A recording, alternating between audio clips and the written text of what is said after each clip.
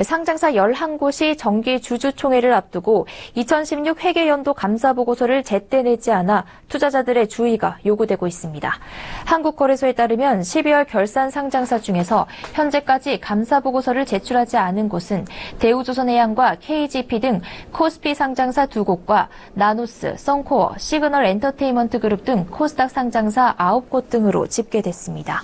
상장사는 감사보고서를 정기 주주총회 일주일 전까지 금 융감독원에 제출해 공시해야 하지만 이들 상장사는 마감일인 21일부터 23일까지 감사 보고서를 제출하지 못했습니다. 거래소 관계자는 통상 상장사 중에 외부 감사인이 회사로부터 관련 자료를 제출받지 못하거나 감사 내용을 두고 사측과 의견이 현저하게 다를 때 감사 보고서 제출이 늦어지기도 한다고 설명했습니다. 실제 감사 보고서에서 외부 감사인의 감사 의견으로 한정을 받으면 관리 종목으로 지정됩니다.